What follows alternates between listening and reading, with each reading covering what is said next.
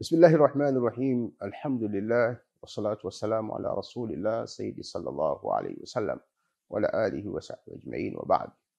Alikhwa, tumshukuru Allah subhanahu wa ta'ala na kumtakia rehma Mtume Muhammad sallallahu alayhi wasallam, bila ya kusahau masahaba zake Mtume waliyejitolea kwa mali na nafsi zao wakautetea Uislamu ukafika huku kwetu katika sura unayoiona na tumwombe Allah subhanahu wa ta'ala ajalie radhi zake ziende kwa wote watakaofuata mwenendo kama wao mpaka siku ya Kiyama.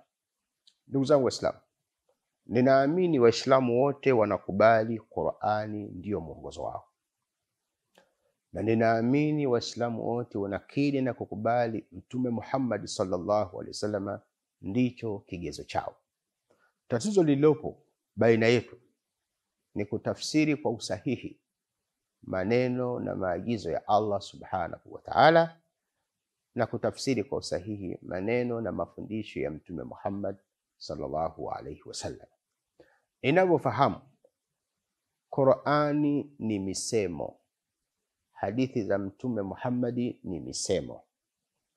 Kwa kawaida, misemo kwa lugha yoyote ile, misemo haitafsiriwi matamshi yanavyoonekana misemo hutafsiriwa makusudio ya msemo yanaelekeza kitu gani. Allah subhanahu wa ta'ala katika kitabu chake ipo sehemu amesema, innamal mu'minuna ikhwa, hakika si jambo jingine, waumini ni ndugu. Hili ni jambo la muhimu la kuzingatia. Hili ni neno la Mwenyezi Mungu subhanahu wa ta'ala leo lina umri wa zaidi ya miaka elfu moja mia nne na arobaini kwa mujibu wa kalenda tunayotumia ya Kiislamu. Neno hilo bado halijawezesha Waislamu ulimwenguni kuwa ndugu. Hatuwezi kuwa ndugu tu kwa sababu neno la Qur'ani limesema hivyo na kila mtu kalisoma kalihifadhi kichwani kwake. Neno hili ni msemo linahitaji kufasiriwa, linahitaji kuzingatiwa makusudio ya msemo huo. Ibada ya zaka ni katika namna ya kutafsiri agizo hili la Mwenyezi Mungu Subhanahu wa Ta'ala, innamal mu'minuna ikhwa, si jambo jingine, waumini ni ndugu. Ibada ya sala, ibada ya zaka ni sehemu ya kutafsiri jambo hili. Kwa hakika ndugu hawezi kukubali ndugu yake awe katika matatizo. Zingatia maneno haya Mtume Muhammad sallallahu alaihi wasallam, mathalul mu'minina fi tawaddihim wa tarahumihim wa ta'atufihim kamathalil jasad wahid, mfano wa waumini. Katika kupendana, kusaidiana na kuhurumiana kwao, kamathalil jasad wahid, ni sawa na mfano wa kiwiliwili kimoja, idha shtaka minhu udhun kinapopata tatizo katika kiwiliwili hicho, kiungo chochote, tadaasa ila aljasadi wal humma, mwili mzima hukesha usiku ukiwa na homa. Hii ni namna ya mahusiano ya kiungo katika mwili mmoja. Jambo linapotokea sehemu yoyote ya kiungo, mwili wote huhisi hali hiyo, na alhamdulillah, mwili wote huzingatia hali hiyo na kuwa tayari kulishughulikia jambo hilo hushiriki katika maumivu ya pamoja kwa kukesha kwa homa. Hau, huu ni mfano wa waumini. Allah subhanahu wa ta'ala aliposema innamal mu'minuna ikhwa, hakika si jambo jingine, waumini ni ndugu. Allah subhanahu wa ta'ala alitaka tutafsiri maneno haya ya Mtume Muhammad sallallahu alaihi wasallam, ifike mahali ambapo waumini watahurumiana na kusaidiana kama ambavyo mwili wa mwanadamu mmoja unavyokuwa na taarifa ya kiungo chochote katika mwili, taarifa yote itajulikana mwili mzima. Ni kiasi gani waumini wa nchi moja hawatambui tatizo lililopo katika wilaya moja ya nchi hiyo? Ni ya kiasi gani waumini wa msikiti mmoja hawatambui tatizo linalomhusu muumini mmoja anayesali katika msikiti huo? na kwa kiwango gani tunaweza kuwa tumetafsiri vema kauli hii ya Mwenyezi Mungu Subhanahu wa Ta'ala, innamal mu'minuna ikhwa, hakika waumini ni ndugu, ikiwa huna taarifa hata ya mtu watatu katika safu mnaosali pamoja, ikiwa imamu hana taarifa za waumini anaowasalisha wana hali gani. Kwa hivyo itakuwa hatuja tafsiri maneno ya Mwenyezi Mungu Subhanahu wa Ta'ala kwa namna inayofaa. Ibada ya zaka ni sehemu ya uthibitisho inayosaidia kuyafikia malengo aliyetaka Allah Subhanahu wa Ta'ala kwa kumleta mwanadamu hapa duniani. Allah Subhanahu wa Ta'ala anataka wanadamu waumini wa Kiislamu waishi wakiwa kama ndugu. Amewajengea misingi ya ibada itakayowasaidia kuyafikia hayo. Ameleta ibada ya zaka na kwa fadhila zake, kwa neema zake akawapa baadhi ya watu kingi, wengine akawapa kidogo. Aliyowapa kingi sio kwa maana ni mahodari kwa kufanya kazi, sio kwamba ni wajuzi sana, sio kwamba wamesoma sana, na wale ambao hawakupata si kwa maana wavivu sana, sio kwa maana hawapendi kufanya kazi, lakini kila mmoja kampa mtihani wa namna yake.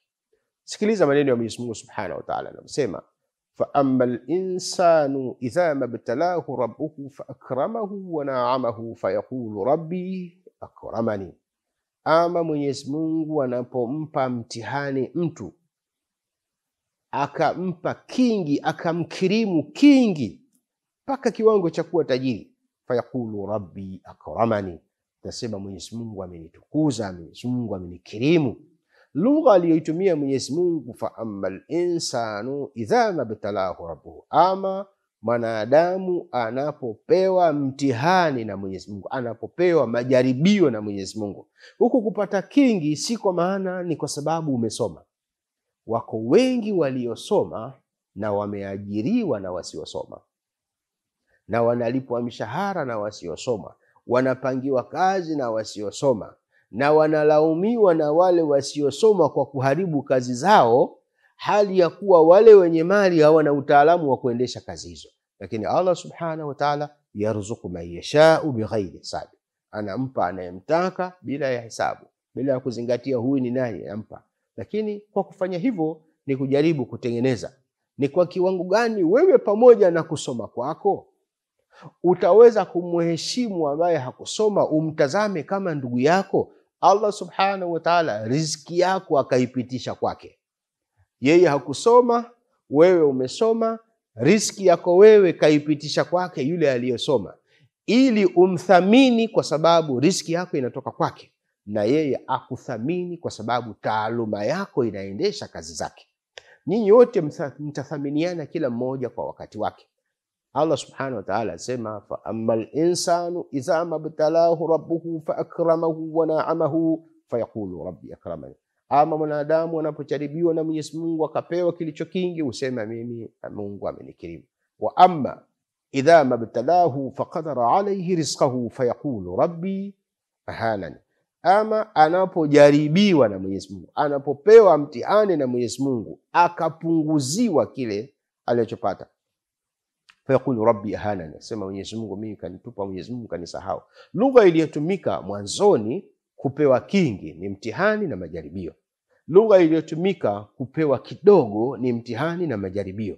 Hakuna kati ya hao wawili aliyepewa kingi kwa sababu kasoma sana, kwa sababu mwenyeji, kwa sababu ana akili sana. Hapana, kapewa kama mtihani, na aliyonyimwa hakunyimwa au hakupunguziwa kwa sababu mjinga sana, kwa sababu mvivu wa kazi kwa sababu hajui kujituma. Hapana, kila mmoja yupo katika mtihani, na kubwa zaidi katika mtihani ni kufaulu. Na kibiolojia, tu, kisaikolojia tunasema mtihani mzuri unaomwezesha mwanafunzi kufaulu ni ule mwepesi. Sasa ukiitizama hii mitihani miwili, mtihani wa kupata na mtihani wa kukosa, ulio rahisi kwa kufaulu ni mtihani wa kukosa.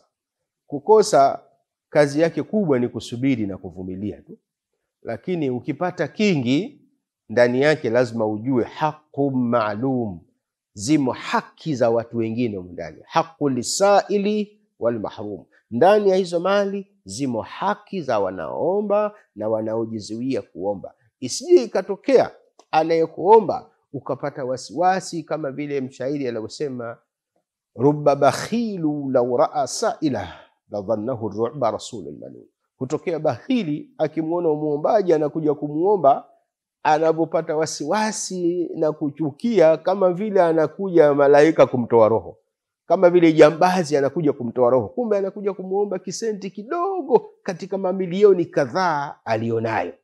Sasa hii ni athari, na mtihani huu ni mgumu sana kufaulu kwake. Huu mtihani wa kupata kingi ni mtihani mgumu sana katika kufaulu kuliko mtihani wa kupata kidogo.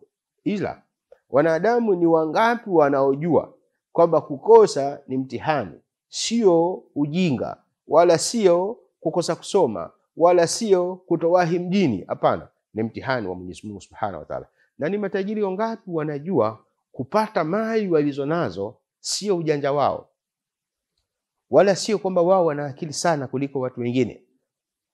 Ni mtihani amewapa Mwenyezi Mungu Subhanahu wa Ta'ala, na miongoni mwa vipimo vya mitihani hayo Allah Subhanahu wa Ta'ala amewataka watoe katika mali zao katika sura mbili, watoe zaka na sadaka kuwapa wengine, na bado akawaonyesha kwa kutoa hivyo mnatoa kwa faida zenu, kwa maana mtapata ulinzi wa mali zenu, mtapata mapenzi miongoni mwa wale wanaowazunguka kuwa karibu yenu, lakini pia athari ya umasikini itapotea, athari ya umasikini itaondoka, maanake wizi utapungua, ukahaba utapungua, ujambazi utapungua. Kama haukuondoka kabisa, muda wa kuwa tu wale walionacho wamesimama sawasawa sawa kutekeleza wajibu wao, kila mmoja kwa wakati wake.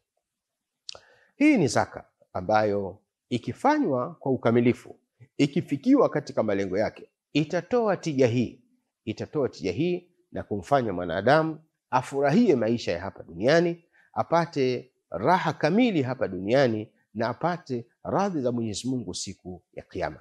Hakuna jambo baya kwa mwanadamu kama kukatikiwa mawasiliano wewe na wengine.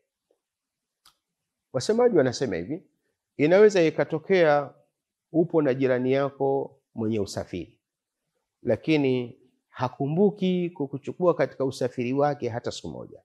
Siku moja katika hali ya kawaida, wewe unakwenda katika njia, naye anapita katika njia, na kwa bahati mvua imenyesha katika maeneo na nchi ambazo mvua zinanyesha. Tajiri huyo kwa sababu alikuwa na haraka, akakanyaga maji barabarani kwa nguvu, maji yale yakaruka yakamfikia yule anayetembea kwa miguu. Mtembea kwa miguu alipomwangalia, anamuona ni yule jirani yake ambaye hana msaada naye kwa jambo lolote. Jambo lile humuuma kwa kiwango kikubwa sana, akiamini tajiri yule amefanya kusudi. Lakini angelikuwa na msaada naye, angeamini tajiri yule ana haraka na hakumuona, pengine angemchukua. Haya yote ni katika kuzingatia maagizo ya Mwenyezi Mungu Subhanahu wa Ta'ala ili kujenga nidhamu ya dunia. Wa shukran inshallah. Wassalamu alaikum warahmatullahi